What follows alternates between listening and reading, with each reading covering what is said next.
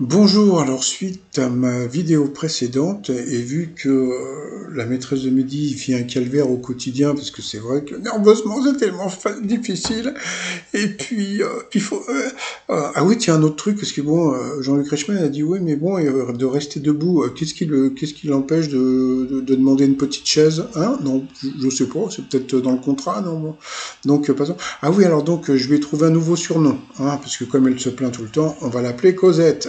Eh oui, Cosette, voilà.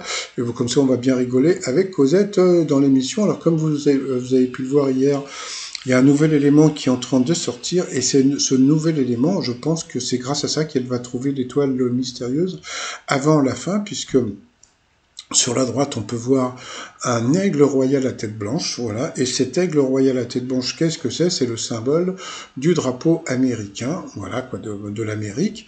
Et donc, bon, qu'est-ce qu'elle va se dire? Elle va se dire, bon, les croissants d'un côté, euh, de l'autre côté, vous avez l'aigle, donc elle va se dire c'est quelqu'un de franco-américain et des franco-américains il n'y en a pas des tonnes donc bon je pense que c'est comme ça qu'elle va trouver Timothée Chalamet dans l'étoile mystérieuse donc bon alors euh, je suis prêt à parier qu'il y en a un qui va nous sortir mais c'est pas vrai parce que ça, c'est un truc que dit souvent Jean-Luc Reichmann. Ils disent, mais ce n'est pas vrai, mais ce n'est pas vrai. Bon, passons. Allez, je vous dis à tout à l'heure pour mon résumé des 12 coups de midi. Allez, bye bye.